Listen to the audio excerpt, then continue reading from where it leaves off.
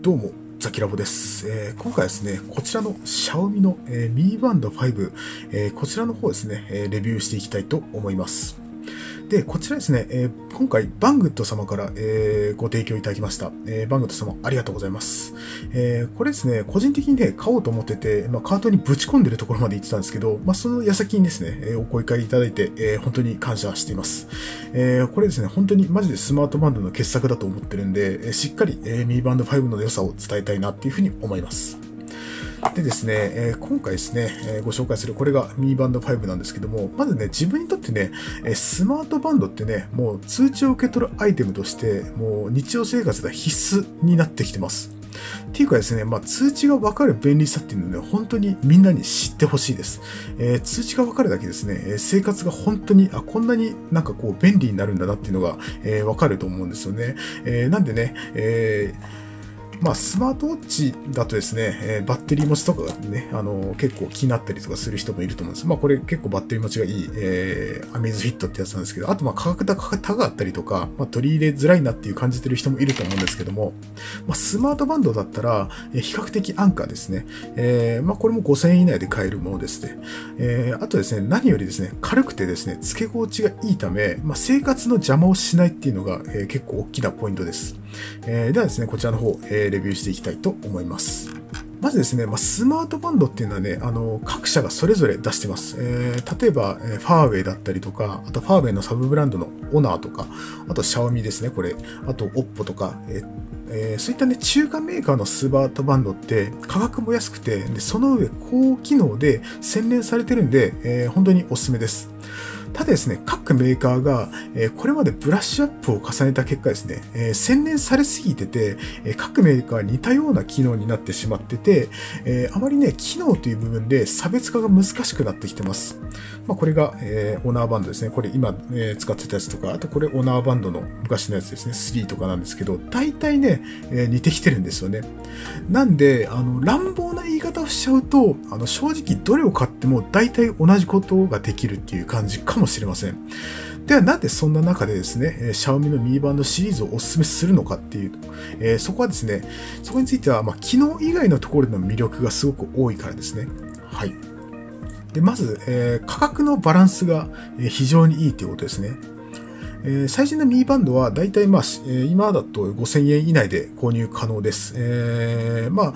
えバングッド様だと買う買うと、まあ、4000円とかで買えたりします。で、まあ、えーちなみになんですけど、えー Mi Band 5って、まあ、前回の Mi Band 4よりちょっとね、値上がりしたそうです。で前回はだいたい3500円ぐらいだったみたいなんですけど、まあ、どちらにせよね、あの、安いんですよね。で、えーまあ、この価格だったらね、まあ、本当に気軽に購入することができると思います。で、えー価格に関してもね、正直ね、ファーウェイとかオッポっていったメーカーも近いものを出してます。で、その差っていうのは本当に、えーまあ、数百円とか、えーそのぐらいの差です。えーまあ、一部ファーウェイの、ファーウェイバンドプロってやつは結構ね、値段が高いんですけど、普通の無印のやつとかはこれとあんまり値段変わりません。で、ただ、ミーバンド5に関しては、まあ、あアフターパーツとかが豊富だったりとか、あと、使い勝手の部分でアドバンテージがすごく大きいと思います。で、まず、アフターパーツについてなんですけど、今回ね、あの、こちら、えーこのメタルのベルトにしてます。えーこれがね、実際のね、あの、最初からついてるバンドです。これが純正のバンドなんですけど、えっ、と、ここにあの並んでたりするんですけど、これがね、あの、アフターパーツですね。こういったものがすごく豊富で、えーめちゃくちゃね、なんかこう、付け替える、カスタマイズする楽しさみたいなのがあると思います。で、今回ですね、こちら、えーメタルのパーツ自体も、えーご提供してもらったんですけども、えーこちらのこの3つは、え個人的に買ったものです。で、えーまあ、こういったやつがね、すごくいっぱいあって、例えば、えーまあ、レザーのやつとかだったりとか、あとまあ普通のメタルのやつとか、あとこういったね、こうちょっとこう、ミリタリーチックなバンドとか、あとね、ラバーバンドでも結構デザイン性の高いラバーバンドとかだったりとか、えっ、とね、なんかこう、ファッションアイテムとしてすごく優秀だと思います、ミーバンド5って。はい。はい、付け替えてみました。どうですかね？これめちゃくちゃガラッと印象変わりませんか？このレザーの、えーベルトにしてみたんですけど、めちゃくちゃこれ、あの、普通になんかね、あの、おしゃれな感じになってますよね。こんだけね、あの、見た目がガラッと変わるんですよね。はい。えっ、ー、と、他にもじゃあちょっと全部、とりあえずつけてみましょうか。はい。はい。こちらがね、あの、シルバーの、えー、ベルトですね。これはこれでね、ちょっとこう、いかつい感じがあってね、すごくかっこいいですよね。うん、ちなみにこれは多分、えー、ミーバンド3かな ?3 と4共通のやつってやつを買いました。えー、一応ね、ミーバンド4は、えー、サイズがほとんど一緒なんで、えっ、ー、と、互換性があるみたいです。ただこのミーバンド3の専用のやつはちょっとサイズがちょっと微妙に違うみたいなんで、もしかしたらミーバンド3専用を買うと、えー、つかないってことがあるかもしれません。はい。こんな感じですね。うん、すごくかっこいいですね。はい。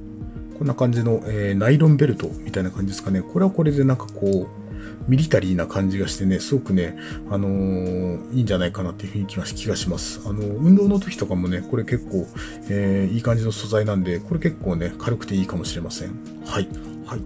でね、やっぱりね、個人的には、えー、やっぱりこのベルトがちょっと気に入ってるんで、これが一番いいかなって感じがしますね。はい。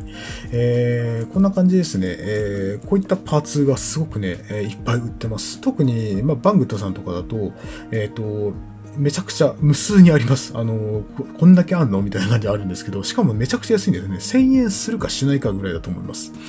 で、あと日本の Amazon とかでも普通に買えたりもするんですけど、日本の Amazon とかで買うと、まあ、輸入費などもちょっと載ってるんで、え同じパーツでも倍ぐらい値段がします。まあ、なんで、まあ、バングッドで本体購入のついでに合わせてベルトも一緒に買うっていう買い方が、えいいのかなって感じがしますね。はい。こんな感じですね。これ実際に腕につけると、こんな感じで、はい。割とね、あの、ファッションアイテムとしてすごくね、あの、使いやすいですよね。うん。普通に、あの、おしゃれって感じがします。えっと、僕はですね、こういったラバーバンドを使って、あの、こっちですね。このラバーバンドと、えー、使うと、普通の時計とも合わせて使ったりとかします。はい。まあ、だから、時計を2つつけてる状態とかってなるんですけど、まあ、それはそれでね、あの、使い勝手がいいんで気に入ってます。まあ、これ1個だとね、あの、普通に、この、これ1個でも普通になんかファッションっていうか、うん、ファッションもそうだし、えー、まあ、スマートバンドとしての機能もすごく優れてるんで、これすごくね、いいですね。だってこれ合計で多分6000円ぐらい、6000するかしないかだと思います。うん。結構ね、見栄えもいいんでね、これおすすめです。はい。でですね、えー、使い勝手のところで言うと、えー、今回ですね、充電が楽になりました。ミーバンド。えー、これまでのミーバンドって充電がすごくめんどくさかったんですよ。っていうのも、このさっきこう外して、え外したんですけど、充電もするときも、え外して充電しないといけなかったんですね。えー、それがね、唯一めんどくさくて、えっ、と、あの、ミーバンドを避けたところがあったんですけど、今回ですね、えー、その方式が、えやっと廃止になりまして、すごく楽な形になりました。え、どういったものになったかっていうと、こういった、はい、こういったものが、えー、充電器になります。で、これどうやって、どうやって充電するかっていうと、この後ろの接点にただ、カチッと、はい、こんな感じですね。ただ、もう本当にパチッと差し込むだけです。でですね、今回、えー、ちょっとこれ、ミーバンド5でちょっと話題になったんですけど、えー、これ、ウォッチフェイスで、えー、エヴァとコナンと初音ミクの、えー、コラボのウォッチフェイスっていうのがあります。えー、こちらがですね、えー、エヴァンゲリオンのやつですね。これ、えー、見えますかね？ネルフですね。はい。こんな感じの、えー、エヴァ初号機ですね、これ。はい。ちょっとね、アニメーションもするんですよ。こんな感じで。はい。はい。こちらですね、えー、江戸川コナンですね。えー、犯人はお前だみたいな感じの、えー、感じで、え、指をさされてますけども、えー、あ、真実はいつも一つかな。これ、え、こんな感じで出されてます。えー、こちらですね、え、アプリの方から、えーえー、設定ができます。はい、こんな感じですね。えー、今、これがローカルに入れてるやつですね。えー、まあ、コナンだったりとか、江戸川コナンってこんな感じで書くんですね。中国語だと。はい。で、工藤新一ですね。あと、えー、毛利蘭ですね。はい、灰原。えー、あと、まあ、エヴァですね。エヴァ関係。えー、アスカってこういった感じを書くんですかね。えー、と、レイですね。えー、2号機とかですね。あと、こう、初音ミクのやつとかも結構あったりします。はい。えー、まあ、こんな感じですね。えーえー、なぜかよくわかんないんですけど、えー、エヴァ、コナン、初音ミク、あとで、スポンジボブの、えー、ウォッチフェイスもありました。それがね、あの、シャオミの公式の方で、えー、サポートされてる、えー、コラボウォッチフェイスって感じですね。えー、ちょっとね、あの、戻しました。えー、これね、あのー、さっきのコラボウォッチフェイスなんですけど、あのー、シャオミのアカウントが、えー、中国というか、中国じゃないな、えー、シャオミのアカウントを作るときに、えー、日本国以外で作らないと、えこれが出ないっていうような、え、感じだそうです。え、最近だとですね、レッドミノート 9S とか、え、日本に公式で、え、参入してきた金もあって、え、作るときに、え、日本が選択できるようになってるんですよね。えー、なんで、その日本のアカウントで作っちゃってる人っていうのは結構多いと思うんですけど、日本のアカウントでやると、このウォッチフェイスっていうのは、えー、設定ができませんでした。なんで自分は一回その、えー、シャオミのアカウントを一回削除して、えー、まあ動画中で説明されてるような感じで、えー、再、えー、もう再取得ですね。再取得して、えー、設定しました。ちょっとその辺がめんどくさいかなって感じはしますけども、えー、まあファンだったら、えー、結構ね、やる価値があるのかなっていうふうな気がします。はい。はい。でですね、えー、もうこの Mi Band 5のいいところもう一つですね、こいつ、えー、本体自体は、えー、英語と中国語にしか対応してないんですけど、通知は、えー、100%日本語に対応してます。こちらですね、えー、今これ Amazon の、えー、やつですね。これ Xiaomi の、えー、バンドの配送終わりましたようなやつなんですけど、えー、こんな感じですね。日本語に対応してます。はい。うん。これね、LINE の通知とかもこれで見れるんで、えー、すごくね、そこはいいと思います。えー、っとですね、僕が前使ってたこのオナーバンド。このオナーバンドって、えー、日本語に対応してなかったんですよ。えー、なんで、漢字しか、えー、対応してなくて、通知が来ると漢字だけ表示されて、あとはこう全部消えちゃうっていうような、えー、中途半端な対応してたんですね。えー、これ、おそらく日本の方にも多分、日本でも公式で発表されると思うんですよね。えー、そうなった時に多分おそらく本体の方も日本語化されるんじゃないかなっていうふうな気がします。はい。えー、まあ、ただね、え日本語に本体の方が対応してなくても、えー、大体英語で、えー、簡単な英語なんですよね。なんで、すごく簡単なんで、まあ、こんな感じでワークアウトとか、えー、 notification とか、えー、そういった感じですね、ステータスとか、えー、大体ね、あのー、意味がわかるようなこ、えー、単語しか使われてないんで、別にね、あのー気にする必要ないと思います。えー、通知さえ日本語で、あの、通知はね、完全に日本語で来るんで、そこさええー、しっかりしてればいいのかなというふうに個人的には思います。はい。えー、まあ、っていうわけですね、基本的な部分にもう本当に抜かりがなくて、で、品質の高いスマートバンドっていうのが、えー、この Mi Band 5って感じですかね。えー、まあ、サードパーツの、サードパーツのホストとか、まあ、あとアニメコラボとかユニークなポイント以外にもですね、えー、そもそもの完成度が、え、高いってことがですね、Mi Band の、えー、特徴です。えー、まあ、スマートバンドの基本的な機能、えー、ワークアウト通知とかっていうのは、まあ、その他メーカーとの大きな違いは、えー、あんまりありません。えー、まあ、これに関しては、もう各メーカーはスマートバンドに対して、えー、もう極まってしまってるんで、えー、まあ、差がないのかなっていうふうな気がします。えー、まあ、その中でもですね、今回ですね、えー、ミーバンド5だけの、えー、ミーバンド5だけっていうよりかは、今まで僕が使ってきた、え、バンドの中でも、え、これってユニークだなって思った部分を、え、フィーチャーしていきたいと思います。はい。こちらがね、ミーバンドの、えー、アプリの画面です。えー、まあ、基本的なね、えー、ワークアウトみたいな機能はね、大体、えー、そうですね、まあ、どこのメーカーとも変わらずって感じでしっかりとできてると思います。えー、GPS の方もすごく、えー、しっかりと、えー、トラッキングされてたんで、えー、いいのかなっていうふうに思いました。えこちらね、えー、Pi 対応っていうのに、えー、対応してます。えー、Pi っていうのが何かっていうと、えー、パーソナルアクティビティインテリジェンスってやつの略だそうです。えー、まあどういうことかっていうと、えー、これね、他のスマートウォッチでも対応してることが多いんですけど、えー、まあ、日々の生活とか、そのアクティビティとかのスコアを記録して、えー、パイスコアっていうね、まあ、基準があってですね、それをクリアしようというものですね。まあ、それをクリアすると、えー、まあ、健康な生活が送れますよっていうようなものだと思います。で、100ポイントをクリアするって感じですね。えっ、と、ものなんですけども、これが結構ね、鬼畜で、え1週間で100ポイントなんですけど、え普通の自分の生活だと、え5とか6とかしかいかないんですよね。で、1週間なんで、まあ5、まあ30点ぐらいしかいかないんですよね。30杯ですね。えちなみにまあこれ今朝ね、ちょっといろいろあって、ちょっとこう自転車にめちゃくちゃ乗ったんで、ちょっとこう伸びてるんですけど、えこんな感じですね。えー、なかなかね、えー、難しいです。で、まあ、目標達成するには11分走ってこいとか、まあ、今これね、今朝の、えー、自転車聞いてるんで11分に短くなってるんですけども、えー、昨日の状態だと30分走ってこいみたいなことを書かれてました。えー、なかなかね、鬼畜なことを言ってきます。え、まあ、具体的にどういったことを、え、すると高得点なのかっていうのは、え、まあ、こういったね、サポートコメントが出てるんで、え、それに沿って、え、やっていけばいいとは思うんですけど、これをね、なかなか、え、しっかりクリアするっていうのがね、なかなか難しいと思います。結構アスリートチックな、えー、感じで、えー、動かないとなかなかね、クリアしないと思います。はい。で、えー、次はですね、ストレスチェックっていう機能がついてますね。はい。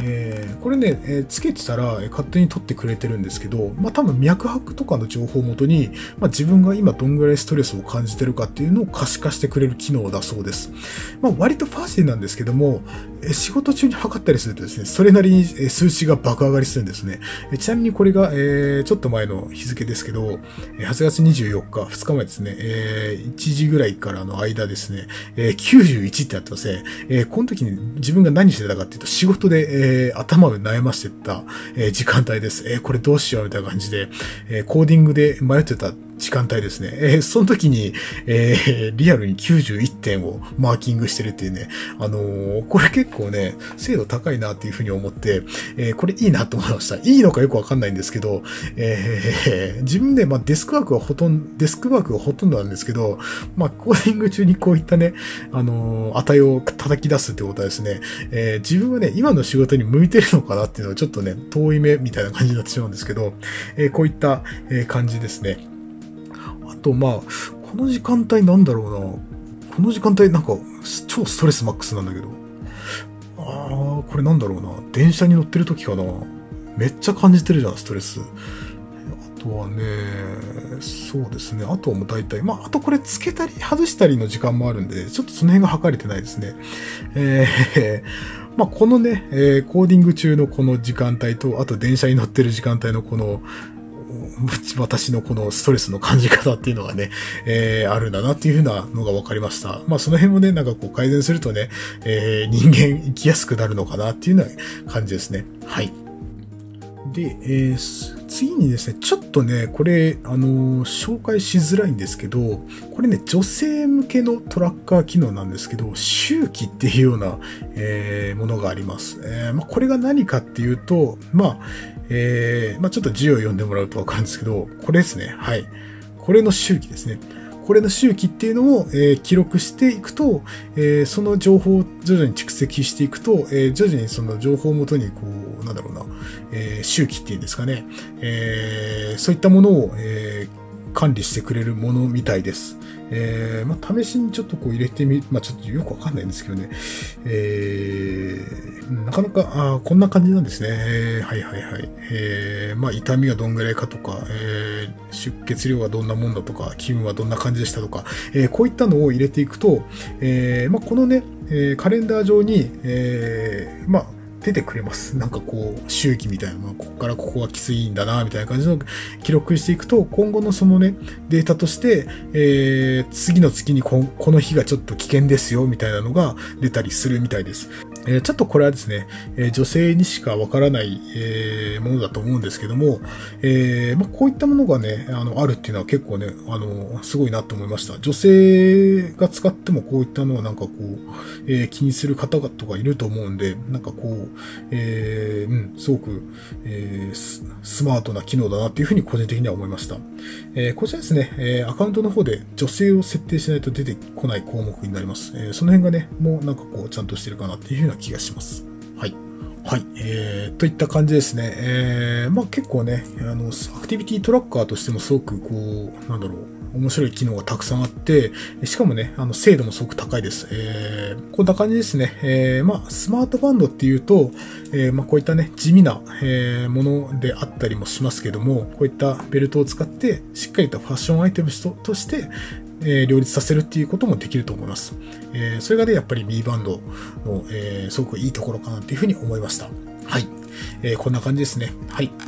えーまあ、こちらですね、えー、今回バングットさんの方から、えーまあ、クーポンとかも発行してもらいました。えー、そのクーポンを使うとですね、3000円台で、えー、買えるみたいです。えー、このケースの方のクーポンも出てたんで、えー、おそらくね、5000円以内で両方買えちゃうんじゃないかなっていう風な感じになると思います。はい。まあ、期間限定ですけど、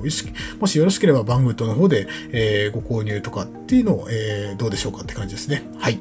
えー、この、えー、まあ、今回ね、こちらのミーバンドを、え、ご紹介させていただきましたけども、えー、まあ、この動画ね、参考になったとか、えー、面白かったとか、ためになったって方がいらっしゃれば、チャンネル登録の方よろしくお願いいたします。えー、以上、ザキラボでした。ありがとうございました。